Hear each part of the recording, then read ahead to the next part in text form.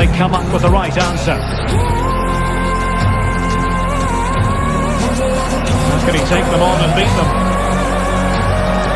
A delicious piece of skill. Neymar has a go here.